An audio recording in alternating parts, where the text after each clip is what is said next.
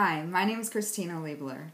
I'm taking edX 1473, The Challenges of Global Poverty, and um, I have learned so much from this class. I've absolutely loved being in a global classroom with people from such diverse um, backgrounds, countries. It's just been fascinating to hear the stories of people who actually live in uh, work in the areas that we're talking about in many of the studies and it's just been absolutely fascinating. Also, um, I really appreciated uh, learning that I like economics. I mean, who knew that economics could be something that is interesting and, and applies to things that I'm passionate about? I'm really looking forward to more classes, hopefully, in the future um, in economics because of this course.